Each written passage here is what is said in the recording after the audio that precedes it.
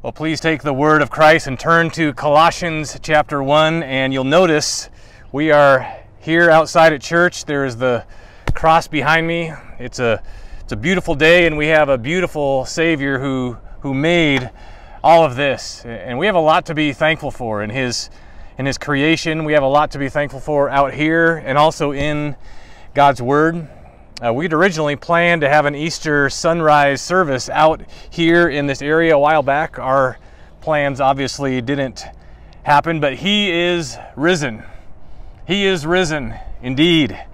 And a, a few hours ago, this place was in darkness, but the, the light has come here on this morning. I'm recording this ahead of time, but that imagery of light coming, that language comes right out of Colossians chapter 1 and resurrection, which we celebrate every Lord's Day. That's why we are still continuing to gather on the Lord's Day. It's the day that the Lord rose from the dead. And I'm also reminded as we're out here that the New Testament church began outdoors with the preaching of, of the cross. Uh, on this month, it was just weeks after Easter.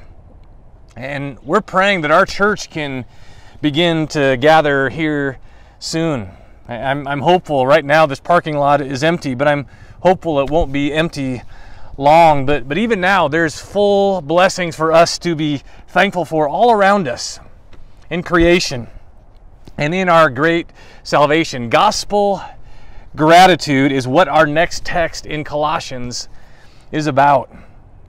Our world has been largely shut down in a way that's that's new in some ways to our to our lifetimes, but what is always open to sinners is the old, old story of Jesus and his love. And the old rugged cross gives us hope as it visually points from earth to, to heaven as the way of redemption and forgiveness. And the Lord's open arms stretched out on it are a visual of his love that is open to all who will come to him and through him. And even being out here in the sunlight is also a visual of the text we're going to look at today out from darkness. We're to thank God that we are in the light. Colossians chapter 1 and verse 12 says this giving thanks to the Father who has qualified you to share in the inheritance of the saints in light.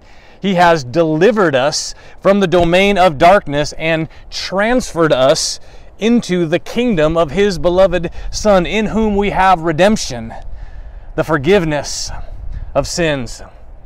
That's our text today. How did King Jesus do that? How did he bring us into his kingdom? Look with me at Colossians 2 and verse 14. By it says, by canceling the record of debt that stood against us with its legal demands, this he set aside, nailing it to the cross he disarmed the rulers and authorities and put them to open shame by triumphing over them. And so the cross broke the, the power of sin and, and Satan. It defeated the domain of, of darkness that Colossians 1 talks about. And I love how Fernando Ortega sings in My Redeemer, his triumphant power, I'll tell, how the victory he gives over sin and death and hell. I will sing of my Redeemer and his wondrous love to me on the cruel cross he suffered. From the curse to set me free, sing, oh, sing of my Redeemer. With his blood he purchased me on the cross. He sealed my pardon, paid the debt, and made me free. That's what Colossians 1, verse 14 is saying. In Christ we have redemption through his blood, the forgiveness of sins, the payment and the pardon for our sins. And so the cross behind me reminds us that the gates of Hades cannot prevail against the church that Christ builds, that he promised to build, and that he is building. No rulers or authorities can stop the power of the cross and his gospel from going forth. And it's been doing that, and it continues to. This is my Father's world. And believers are in the kingdom of his beloved Son, our King. He is risen. He is risen and he is reigning. And Colossians is about the, the preeminence of Christ overall. Chapter 1, verses 15 through 19 are really going to bring that home in our next section and everything that Christ would have the supremacy. And before Paul talks about his supremacy and his sovereignty over creation, that'll be in the next text, verses 12 through 14 start with his sovereignty or his supremacy over salvation. You ask, didn't I have a part in my salvation? Yes, the answer is your part was sin that you need forgiveness from. Our part was needing rescue. We were all in darkness. We were all in slavery, needing to be redeemed and delivered and transferred. Our response should be thanks. And in this passage, there's four glorious truths of salvation to be thankful for. The, the big idea is thanking God for Christ's kingdom blessings, or you could say the glories of salvation. Be thankful for Christ's inheritance in verse 12. The second part of our study will be thank God for Christ's deliverance in verse 13. Thank God, thirdly, for Christ's kingdom, also in verse 13. And then thank God for Christ's redemption in verse 14. But first, thank God for Christ's inheritance. Look at verse 12 and actually notice verse 11 ends with all patience with joy, giving thanks. And so there's this connection in context with joy and and thankfulness. If it's hard for you to be patient with joy, are you giving thanks? One flows into the other. When you're giving thanks, it connects with joy. Joy is connected with giving thanks. The path to joy is through thanksgiving. Giving thanks. You may not feel thankful, but give thanks. Give thanks. Pray for others as Paul has been showing us in this passage, and then follow Paul's pattern, starting with thanks. Look at verse 3, chapter 1, verse 3. We always thank God, the Father of our Lord Jesus Christ, when we pray for you.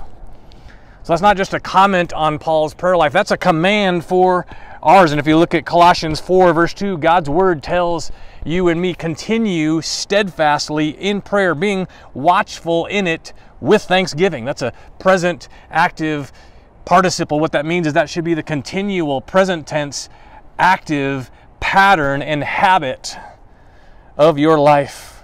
Thanksgiving, keep on giving thanks. Not just when you thank God for your food, but continue throughout the day giving thanks to God. Go to Colossians 3, verse 15. Just look at the end of Colossians 3 15. And be thankful, it says. And then verse 16 tells us with songs and scriptures, how that can help. And then the end of verse 16 says, with thankfulness in your hearts to God. And whatever you do, in word or deed, do everything in the name of the Lord Jesus, giving thanks to God the Father. So giving thanks in all we do, all the time, being thankful and, and singing to stir thankfulness, like, thank you, oh my, my Father, for giving me your, your Son. A heart of gratitude is is the vein that runs through the body of Christ. A heart of gratitude is, is what, what then feeds the vein that the vein that runs through our lifeblood, the body of Christ, our life together. A heart of gratitude is what that vein comes through. And God's word keeps repeating this because God's word wants us to get this. I I've needed this. I've been convicted and having to preach this to myself first and trying to to practice it.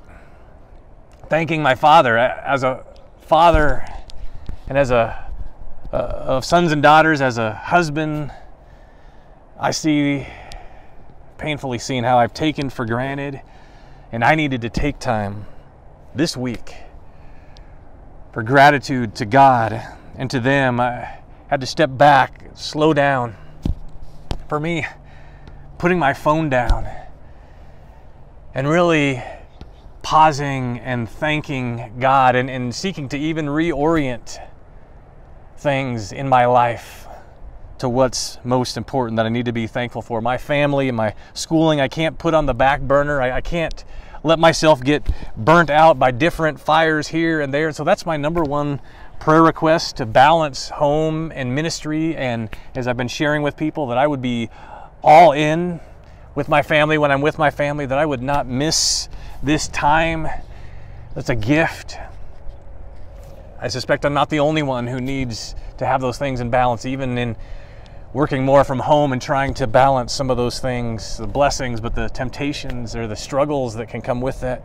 Our lives are in an important time.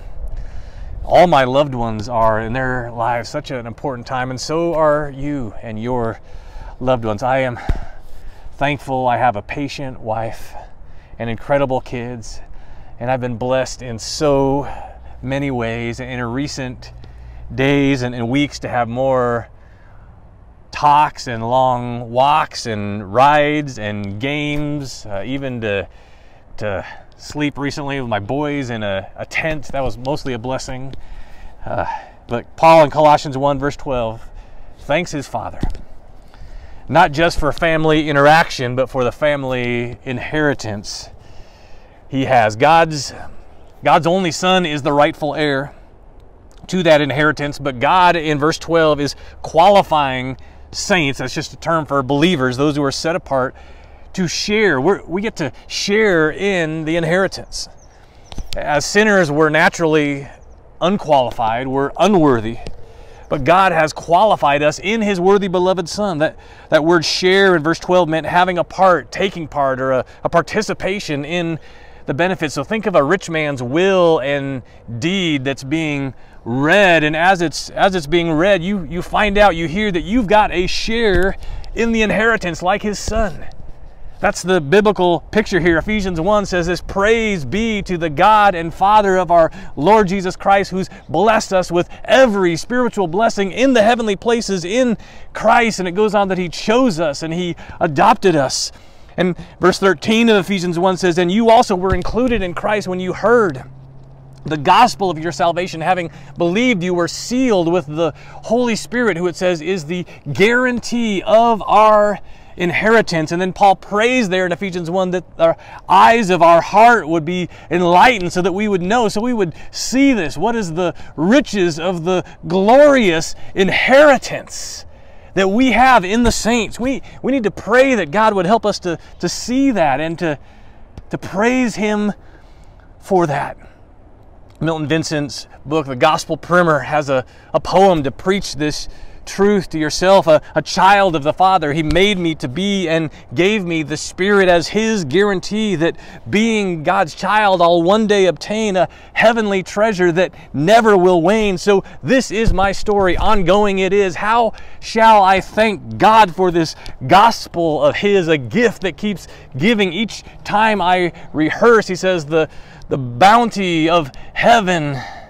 Each time I rehearse, the gospel confers, he says, deserve it. I don't on my holiest day, but this is the gospel, and herein I'll stay. So, the application of this first point is let your light shine. If you're in the light, let your light shine. And live like an heir. Live like an heir of the inheritance. Ephesians 5 8 for at one time you were darkness, but now you are light in the Lord. Walk as children of light. And he says, the light consists in all what is good and right and true. And so when Paul talks about our inheritance or our heritage of light, it's what's good, it's what's right, it's what's true. It's not just a heavenly inheritance for the future. We're to live in light of it here on earth. Even now. So Philippians 2:14 gives a great image of how to do that as, as lights. He says, Do everything without complaining or arguing. Let me read that again. Do everything without complaining or arguing, so that you may, he says, shine like stars in the universe. What, what shines isn't our complaints, it's our thanks to God, our glorious God. And so that's number one. Thank God for Christ's inheritance in the light and live in light of it. Number two, thank God for Christ's deliverance from the darkness. This is the flip side of the light. He's his deliverance from the darkness. Look at Colossians 1:13. He has transferred us from the domain of darkness. Someone wrote me My favorite book has always been the same as your favorite Colossians. What a coincidence, he said. So that made me very excited to hear of your preaching through our favorite book. I hope you do the real slow version, he says. This is his writing here. You know the version where you only get through a verse or two each week. Smiley face. He says his life verse is Colossians 1:13. He's transferred me from the domain of darkness, or delivered me from the domain of darkness and transferred me into the kingdom of his beloved Son. And he says this it's not that complicated as this verse describes. God made it so. And, and, and actually, I think I will get through three verses this week. But the reality is, we could do weeks in just this verse and not exhaust it.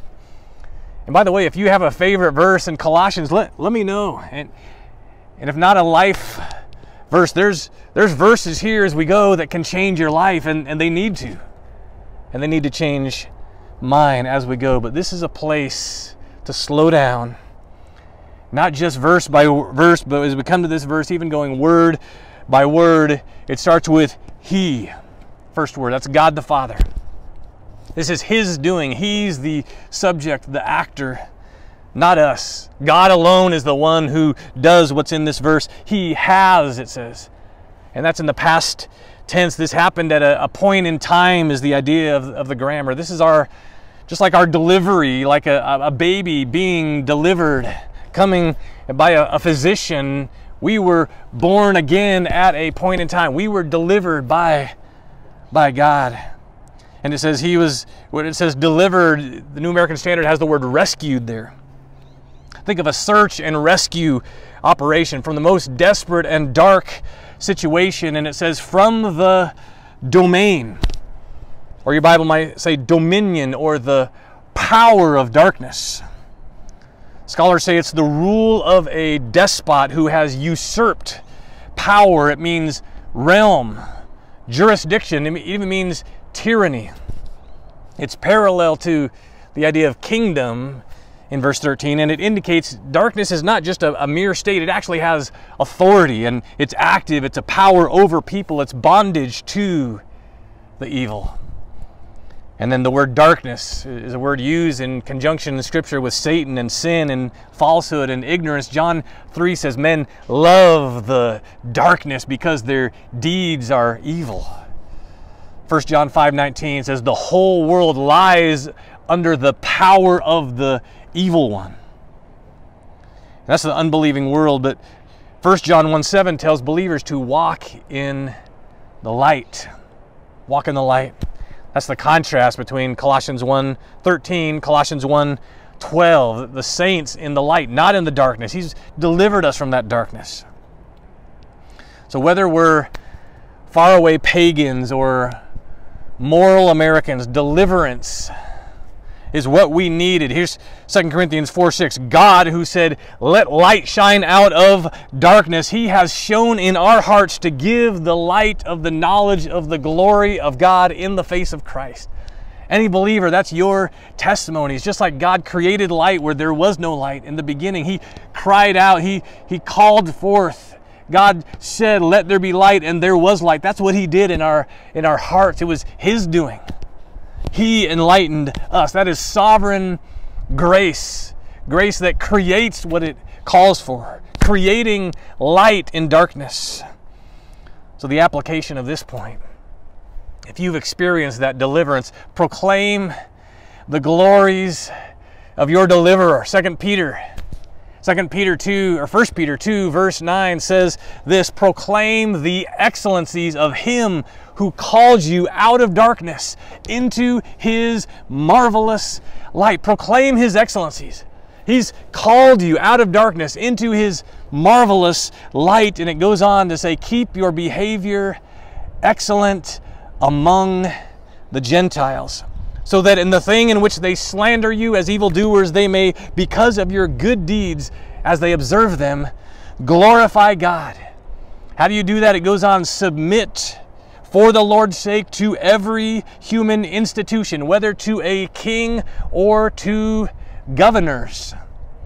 Submit to governors is part of how you are living in a way to bring glory to God, keeping our behavior excellent among the Gentiles, those are the unsaved, those who are watching in the world, and proclaiming the excellencies of Him who called us and the hope of our calling. Our governor and godless people all around us are watching how Christians are responding. They're watching and, and reading what Christians are reposting on social media, and we're called in Scripture not to slander Gentiles, and certainly not to live in such a way where they would have cause to slander us. Let's not act like the darkness. Let's behave excellently and let's proclaim the excellencies of Him who called us out of darkness. Amen. Paul's own conversion story, you remember, he was in spiritual darkness as he persecuted the church until light shone on the Damascus road. He was outside on a day like this, but all of a sudden the, the light of the that was brighter than the sun shone and he was blinded. You remember? There was darkness, blindness for three days. This was his own experience. And really he went through what he was then gonna was gonna be his mission to to call people out of darkness so that the, as the scales fell off his eyes that that, that the scales would fall off their eyes and they, and they would see the light of new life in Christ. Listen to Paul's testimony of his conversion and his commission. This is from Acts 26. At midday, I saw a light from heaven brighter than the sun. And when we had fallen to the ground, I heard a voice Saul, Saul, why are you persecuting me? And the voice went on, I am Jesus, whom you are persecuting.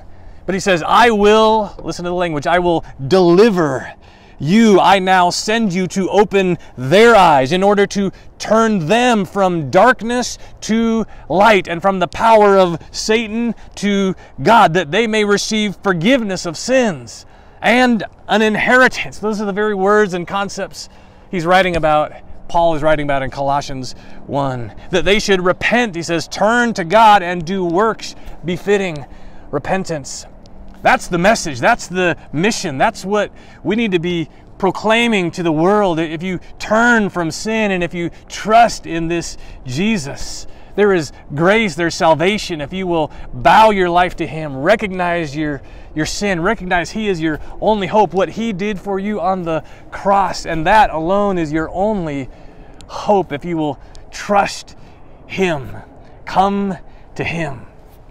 His arms are open wide, and he says, Whoever comes to me, I will not cast out. Come to Christ. His grace is offered to you, even this very day, even this very hour, if you will trust Him and Him alone.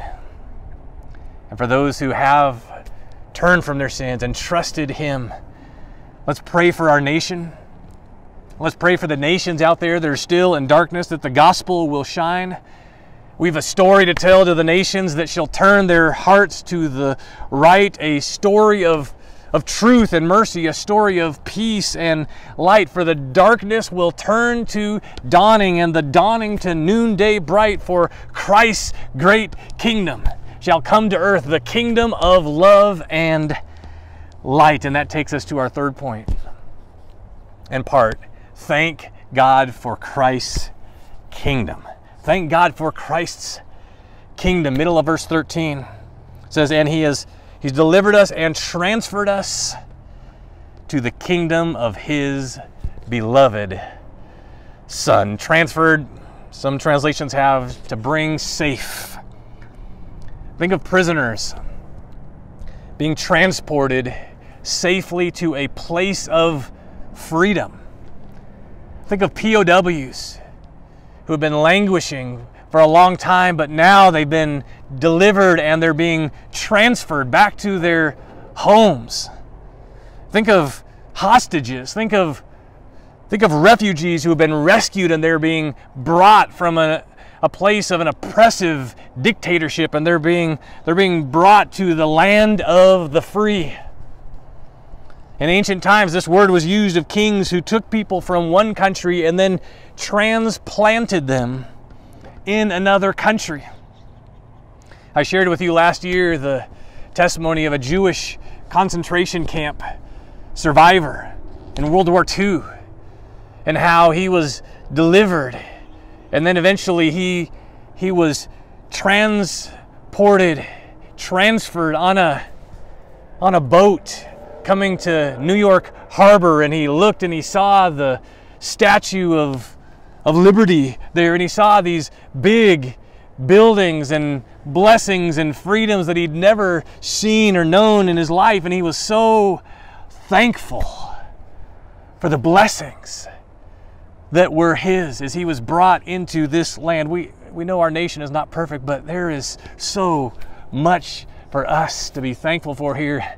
As believers, we've, we've got a higher citizenship. We've got even higher and greater blessings that we have. I think of Gracia Burnham shared her testimony in our building here at our church of her rescue from Islamic terrorists in the Philippine jungles there with her husband Martin and she was rescued from them and then she was transported back to the United States. She was delivered from those dark jungles and those dark times.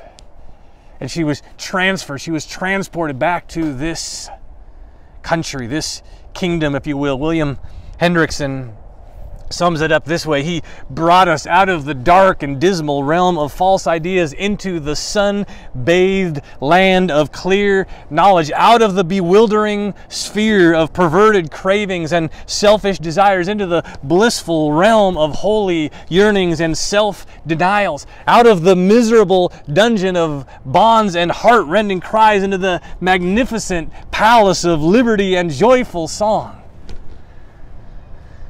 2 Corinthians 5:17 says salvation is a new creation where all things become new. Our family just not long ago watched Chronicles of Narnia, a documentary about those Pevensey children. You remember the story hiding in that dark wardrobe, but it was actually through that dark wardrobe that they were transported and transferred into the kingdom of Aslan the lion, the, the son of the great emperor beyond the sea. was a whole new domain from old England. And there was still evil in that realm, even when they were in that kingdom now. But Aslan was their king. Aslan would win in the end. And they trusted he would. They were already, though, in his kingdom. They were in his kingdom, but not everyone in that kingdom recognized it yet. They didn't recognize Aslan as their rightful king yet, even though he was. You remember Lucy, little Lucy, she had been nervous earlier.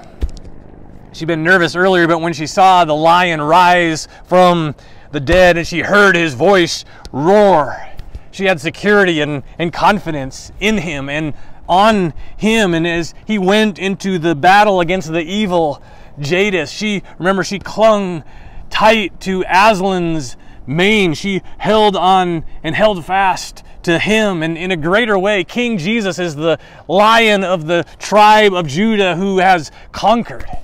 He has conquered, and as we cling to him in faith, he, he carries us on his shoulders all the way to victory.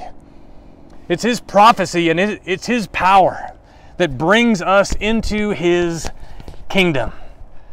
Sons of Adam, daughters of Eve, brought out of hiding in the darkness in our old life, transferred into this new, whole new realm. It's, it's impossible. But he brings to life us who were as dead as a stone statue. He, he comes in the image of Scripture as he breathes life into us. Colossians 2 is going to say, when we were dead, he made us alive in Christ. We're now in his kingdom, and, and one day all will recognize Christ's kingship, that he is king. Every knee will bow in the end. As we bow in faith, we enter his kingdom. We enter his kingdom. This is the whole kingdom now and not yet tension of Scripture. We've got this present reality and this future finality, and in some sense, his kingdom is inaugurated now, but it will be consummated after his second coming. Jesus when he was here at his first coming, said, The kingdom is within you. And Paul is speaking here in the past tense. You've been transferred in to this kingdom at the moment of saving faith spiritually until that final kingdom to come eternally. We are citizens of heaven now. Uh, the world can't see it till his kingdom comes on earth as it is in heaven. But to put it simply, you're in Christ's kingdom if he is your king. There's a kid song that says, it talks about the flag in the castle of my heart to, to show that the king is in residence there. So, so let it fly in the sky. Let the whole world know. That's what we're to do. Live in such a way that it's evident where our allegiance is, who our king is to the world. Colossians 1 says, Set your affections, your heart, and your mind above where Jesus is enthroned. We sing at Christmas, the, the King of Kings salvation brings. Let loving hearts enthrone him. This, this is Christ the King, and, and this is his message. As he comes at the beginning of Mark's gospel, he says, The kingdom is at hand. Repent and believe in the gospel. Matthew 24, at the end of his ministry, he says, The gospel of the kingdom would be proclaimed in his name to all the world as a testimony to all nations. And then to the end of the book of Acts, Paul's ministry is he's in a Roman prison. It says he was testifying of the kingdom of God and trying to convince them about Jesus. He was, it says, proclaiming the kingdom of God and trying or teaching about the Lord Jesus Christ with all boldness and without hindrance. So that's the context. That's actually the context when Paul writes Colossians, he was on lockdown. But the gospel of the kingdom was freely and widely going out more than ever. It was unchained, it was unrestrained. Some of the translations say it went out with freedom, with openness, without restriction. We're hearing a lot about restrictions. But the gospel has been going forth since the first century without restrictions. And it sometimes even uniquely goes out in times like this. We've seen that. So thank the Lord for his unstoppable gospel that goes out even if you can't. And then, fourthly and finally, thank God for Christ's redemption. Thank God for Christ's redemption. Verse 14, in Him, that's in Christ from verse 13, we have redemption, the forgiveness of sins. Forgiveness is the freeing or releasing of a debt owed. Jesus taught us to pray the Lord's Prayer, forgive us our what? Our debts. The wages of sin is death. That's what's owed. That's the debt owed for sinners. Physical and eternal death is what we have earned, and that's what we deserve for our crimes against God. We had a debt that we could not pay. But we have this Redeemer in this verse who, who paid a debt that he didn't owe. He paid in full for the sins of all those who would believe in him. He did it on the cross. And so, what's the application for us who have forgiveness of sins in the beloved? Look at Colossians 3:12 where that title of Christ is actually used of us. We're called beloved just like God's son. Verse 12, Colossians 3:12, put on then as God's chosen ones, holy and beloved, compassionate hearts, kindness, humility, meekness, and patience, bearing with one another. We need that in these times. In our families, in our church family. We need this to be putting on these things like we get dressed for church, even now when we're not coming to church, we need to be putting these on even more kindness, humility, meekness, patience, bearing with one another. Then listen to this. This ties in with forgiveness. If one has a complaint against another, forgiving each other as the Lord has forgiven you, so also you must forgive. The forgiven must be forgiving. If we've been forgiven, we must be forgiving people even as we pray daily, forgive us our debts as we forgive our debtors. We who have been forgiven need to be forgiving others. Colossians 1:14 says we have redemption.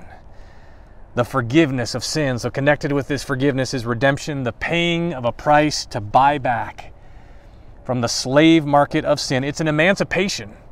It's a new relation in the Greek Roman world, some redeemed and, and adopted as a son ones they wanted to make their heir, to give them the inheritance. Several emperors, actually, and kings uh, would adopt a son that they would make their, their heir. Julius Caesar, Augustus, that family line had a number like that.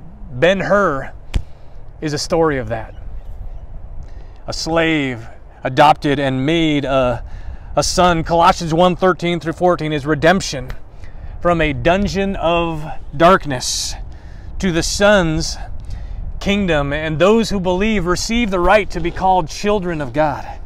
John chapter 1 says, Ephesians 1 says, The Father predestined us to adoption as sons to the praise of the glory of His grace, whereby He has made us accepted, listen, in the beloved. That's the same language here. In Christ, in the beloved Son. In Him, it says, we have redemption through His blood, the forgiveness of sins.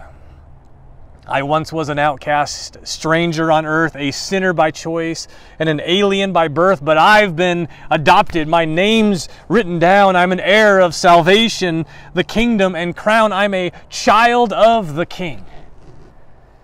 See, we're not just transferred into a, a community, we're, we're transferred into a family.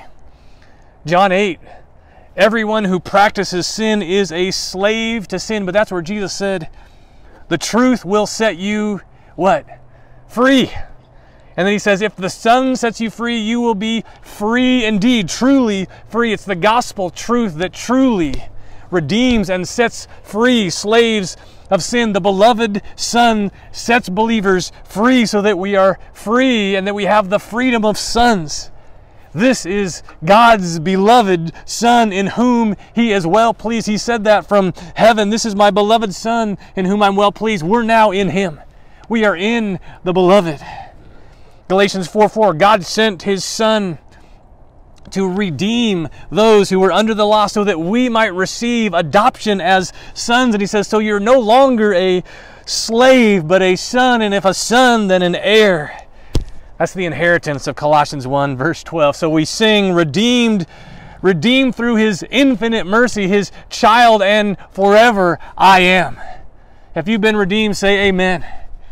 What a Savior we have. And in Romans 8, God takes these slaves that He's chosen and predetermined to adopt, as Ephesians says, and, and He turns them from fear to fatherly intimacy, from slaves to sons, from hellbound to heavenly heirs. Even the, the sinners who once cried out, Crucify him, crucify him on that cross, he forgave and he gave the Spirit so that they can now cry out, Abba, that they can join him in crying out, Abba. So, how should we respond? We should say, Thank you, oh my Father, for giving me your Son and, and your Spirit. Till this work on earth is done. God so loved the world that he gave his beloved Son for an orphan lost and poor as I. He redeemed me and, and welcomed me to his family on high. I've been adopted by the King of all kings. I'm an heir to his heavenly throne. Once a slave of sin, now a child of God, adopted, and I'm one of his own. So thank God for so great a salvation that we have in Christ. Let's be thankful people this day as we think of what our Savior has done for us, as we think of the cross, and as we are thankful, as we're also prayerful for the day that we can gather again. Let's pray. Thank you, O Father, for the inheritance that we have in Christ. Thank you, Father, that you have delivered us from the domain of darkness and that you have transferred us into the kingdom of your beloved Son.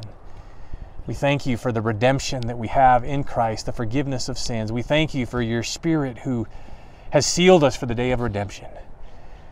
I pray that you would help us to live in light of the light that you've called us to, that we would live and speak in, in an excellent way, behaving excellently, and that we would be proclaiming the excellencies of Him who called us out of darkness into His marvelous light. We pray these things in the matchless and merciful name of our Redeemer. Amen.